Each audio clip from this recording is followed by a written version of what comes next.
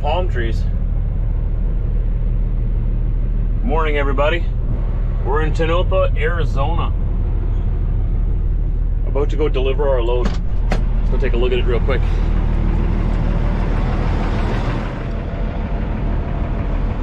Very light load, very simple load, very slippery load. The wind just slipped right around us this whole trip. Excellent fuel economy. It's good highways. And once we left the Midwest, like uh, around Nebraska, once we got down to Colorado, the weather got really good. Nice and sunshiny and warm. Before that, it was raining. It rained on me all the way down to Colorado. It's been four days to get down here three full days plus a little bit. But it took four days. We can now get this load off my trailer and hopefully I'll have a reload soon after that. As of sitting here right now, I still don't have a reload and I'm getting a little bit worried. but that's okay because after I'm done uh, unloading just down the road, I'm gonna come back up here to the truck stop, shower, fuel, uh, maybe go for a walk, sort of refresh myself. Hopefully I have time for that still. If not, I mean, uh, I'll go pick up a reload. I mean, that's a little bit more important, uh, I guess. Getting something on the trailer first. But uh, I'm guessing, you know, if I don't have a load yet, I'm thinking I'll probably have a load that's going to be put on the trailer tomorrow, hopefully in the area. But, uh, I mean, we'll see what happens. Yeah, let's go get this taken care of first. Real quick before we get started here, Today's shout out goes to our friends at Bullsnot. All of the cleaning products you need to keep your truck shining. Go down below to my description where you can find a link to their website, brownox.com for the US, and Bullsnot Canada for up here in Canada. Go check them out if you like a clean rig.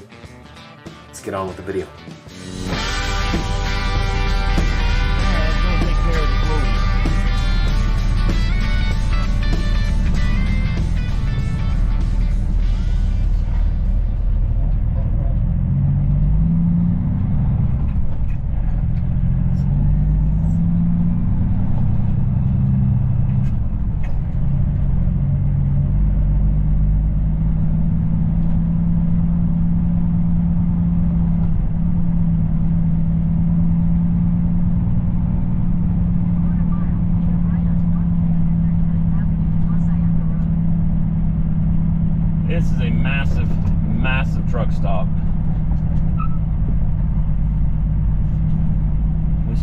Stayed at the TA. We're just west of Phoenix, Arizona, in the desert.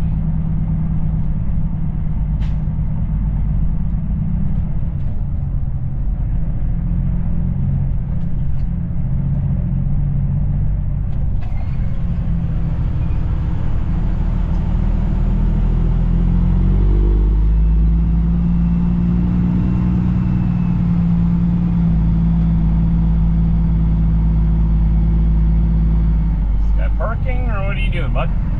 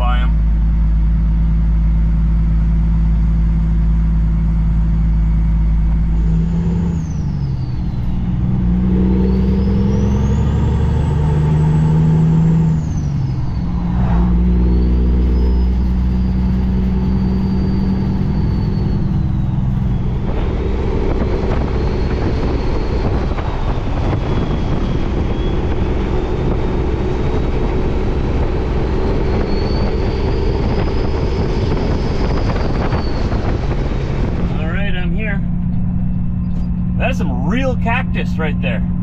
I've never seen one of those in real life. Just off to the left, these big tall things. Look at that. Ha, I've only seen those in movies.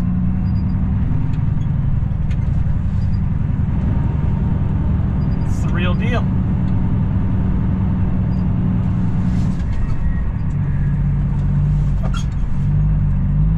I think this is my guy right there. Are those real? Those real cat? Yeah, those are real, aren't they? Check that out. Ah! Just like in the movies. Arizona. Oh, it's hot. It is hot. So, I'm just gonna get these straps off of here now.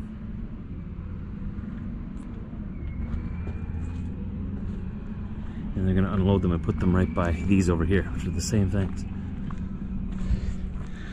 All the way from Manitoba, Canada, down here in Arizona, USA.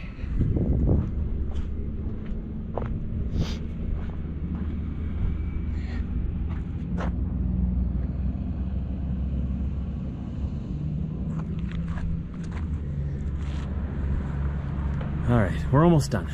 Almost done. Take the straps off, put my equipment away, put my tarps in their bags, throw them on the deck once it's empty, tie those down. Maybe by that time we'll have a reload. If not, I'm going to take a shower anyway. It's hot out here. Have I mentioned that yet? It's almost like I'm in the desert or something.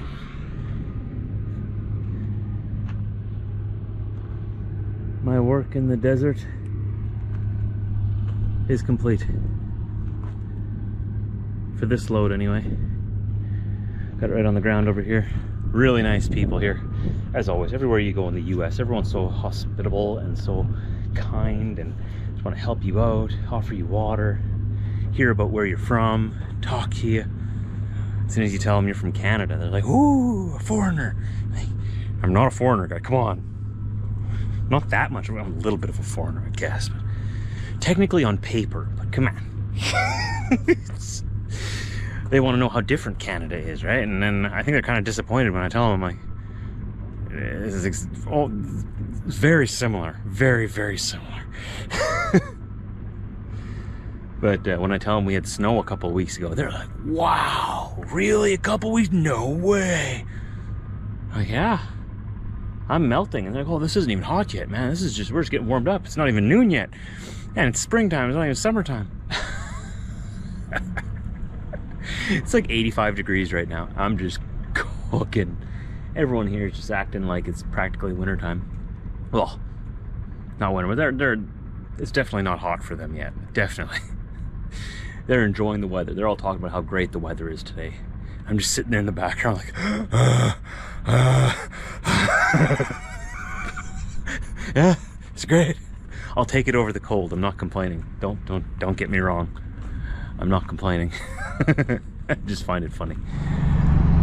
So I'm headed up to the pilot, which is just nearby here, a little bit west from the TA where we stopped last night. I'm gonna fuel up. That's the cheapest fuel on my route. I have a reload now that's waiting for me in Grand Junction, Colorado. A little bit of a jump over there, but uh, we're gonna pick that load up, and that's going up into Banff, Alberta.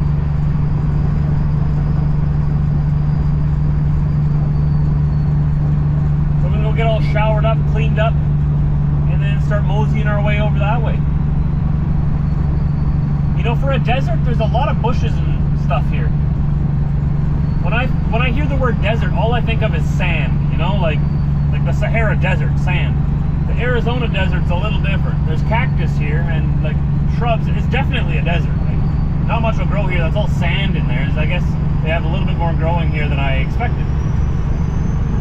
I should have known that. I mean, I've been here before, right? It's just been a long time. I was had this picture of Egypt or something in my head.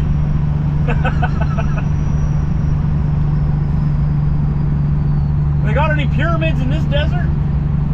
Actually, they do in Nevada, in Las Vegas. They got a pyramid there, don't they? it's pretty cool coming to see different places like this. Hard to imagine this is the exact same country as Minnesota, right? Totally different geography, totally different climate. Same people, same language.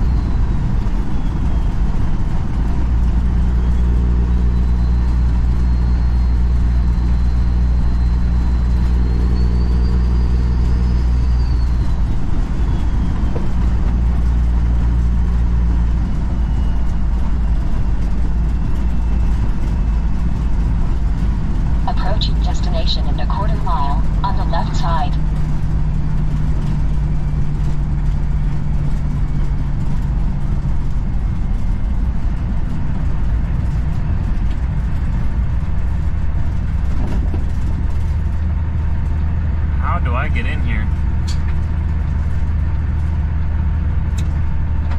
This must be it here.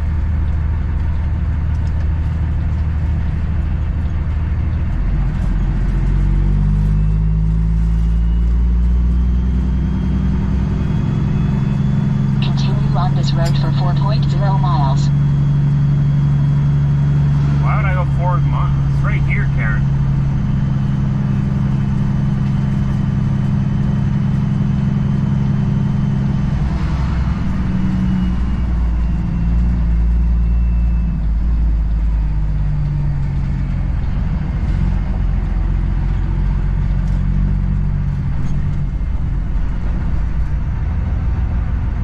All right, where are the pumps? Oh, they're off to my right over there. That's interesting. Oh my, this truck's had seen better days. Yikes.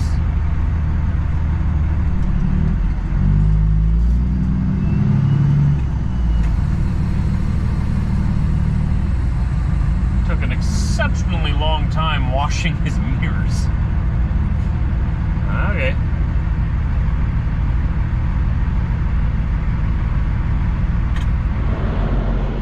I'm all fueled up. You guys won't believe this. I hit eight miles per US gallon from Colorado to here, loaded. That's incredible. That's the highest I've ever gotten by far. It was a great trip down here. I hope the trip up north is going to be the same.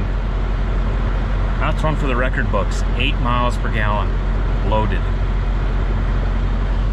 You did good, Blue. Even with your big old long hood there, you did good.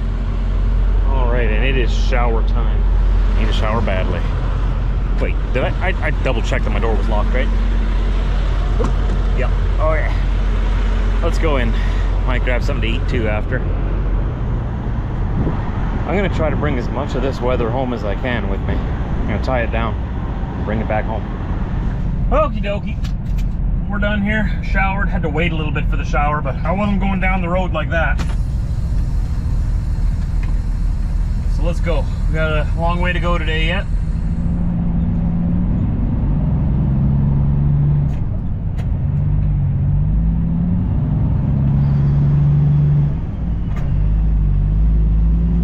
It is, oh my gauge says 37 degrees Celsius, but we were just sitting still, so we'll read it again in a couple of minutes once we're on the highway.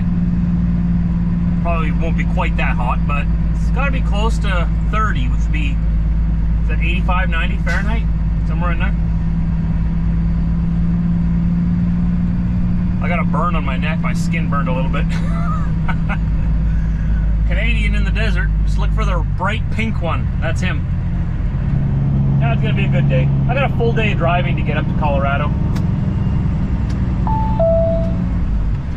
Sometimes we gotta, well, very often we have longer deadheads than a driver who is an American delivering in America, right? Because I can't pick up freight that's being dropped off in the US. It has to be something that's being dropped off in Canada. It's illegal for me to pick up freight in the US and drop it off here. It's called interstating.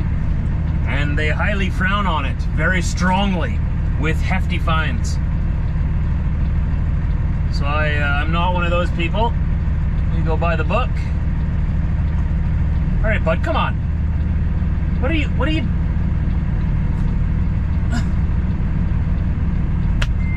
Why don't you use your signal, man? Really? Turn left and then take the entrance to the right in 590 Big feet. long line of trucks behind me waiting to get out, and we all gotta wait because that guy's not using signal. 500 feet, take the entrance to the right on I-10 East. Anywho, goodbye palm trees. I'm glad I got to see them. I was really worried because in uh, New Mexico, I didn't see any palm trees. I don't know, I missed them all or what? There's no palm trees there. Why is there no palm trees in New Mexico? How did I miss them all? I mean, I did go through half the state when it was dark. Maybe that's why.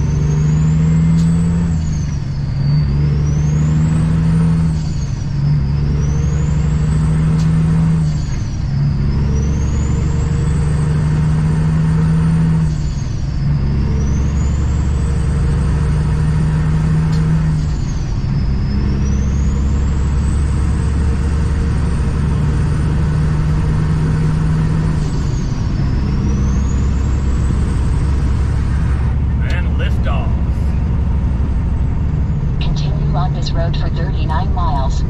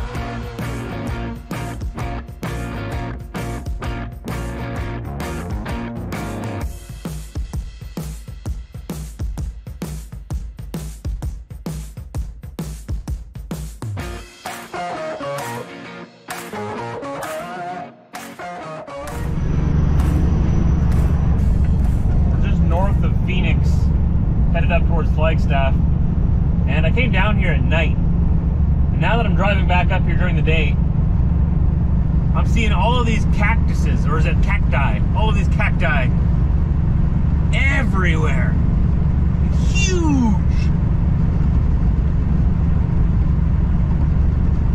That's crazy. I think those kind of cactus are native to Arizona, right? You don't find them anywhere else other than Arizona. I think I read that somewhere once. Feel free to correct me in the comment section because I have no idea what I'm talking about. I'm not from the desert.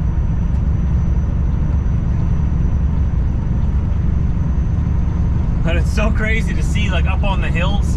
Now we're driving uh, through a town here a little bit, but in the open fields beside the highways, just thousands and thousands of these, just massive. Would you call them trees, like cactus trees? They're they're as big as a tree, but it's a big cactus like you see in the movies, the pricklies and everything on it. I always want to go out there and you'll put a big cowboy hat on one. I've always wanted to do that. I don't know. Looks like a person standing out there, right? Because looks like it. It looks like it has arms. All of these cactus, cacti. Don't listen to me. I have no idea what I'm talking about. I'm just a tourist rolling through. I think it's pretty cool. People who live here get to see them every day, but how often does a Canadian get to see a big old cactus the size of an oak tree? Of course, now that I'm talking about it, I can't find any. Oh, there's a couple off to my right. Oh yeah, there they are. Like the size of an oak tree, just massive. I wonder, do they not grow anywhere else? Just off to my left. The camera can't pick them up because it's too far away, but it's, it's like a forest of cactus. Forest of cactuses. A, a cacti forest. Just, they're everywhere. That is so neat. That is so cool. I guess I keep them further away from the road. You don't see them growing like right up beside the road here, but look up on that hill to the right there. Can you see it? I don't know if the fisheye will let you see that far, but there's a whole bunch of them. All the bushes are in the way, of course. Can see them off on the left there too, all over the place. Cactus here and cactus there. They all look like people standing there. Looks like they got arms and everything, right? Oh, there's a really big one over there on the left. Oh, I hope the camera picks that up. it's so cool. Imagine having one of those in your front yard. That'd be cool. I'd rather have a palm tree, but a cactus is pretty cool too. I don't see those very often. I didn't know how many of them there were. I knew that there were some out here. I just didn't know that they're everywhere. There's a couple more coming up here beside the road. Probably see them down there. I had no idea they got so big. Tall as a building?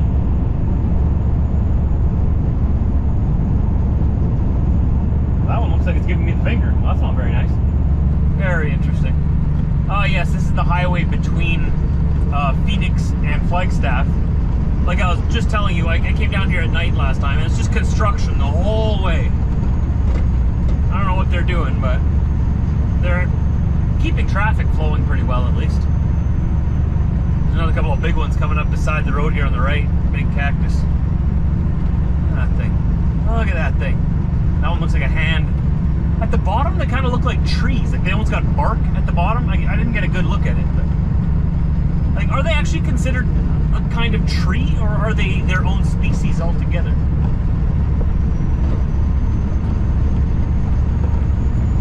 I have so many questions. Do any of you live here? Is this just normal for you? I feel like I'm on like a foreign, like a, a another planet or something. I don't get to see any of this stuff ever. Oh, that one's all twisted up. wow. At up on the hill on the left. It's all over the place. On the left, it sort of looks like a, a forest that's been burnt down. Like you know, like there's a forest fire from a distance, and then you get closer, you're like, oh, those are those are prickly trees. Those aren't burnt down trees. Those are actually something else. Those are desert trees. There's a big one on the right. Thing's tall.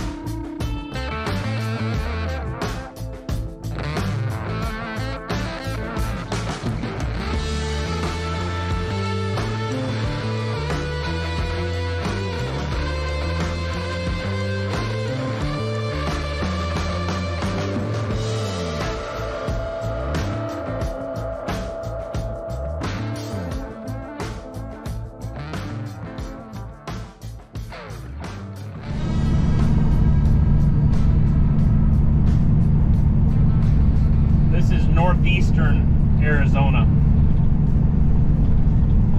US 89. Cutting across here towards Colorado. We still got a long way to go. I've got 400 miles to go yet. So the sun will be down probably by the time we get to Colorado. Which is too bad because I hear it's a very scenic drive.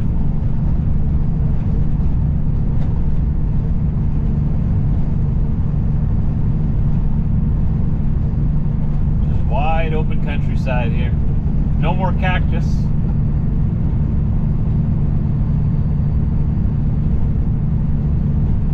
Wide open fields, no trees, nothing.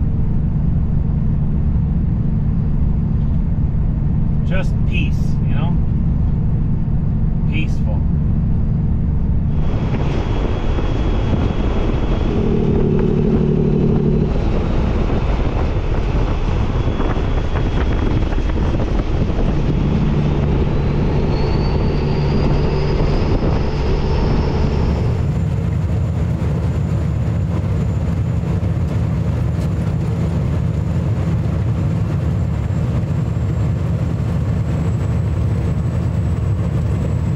Well, the end of another day has come.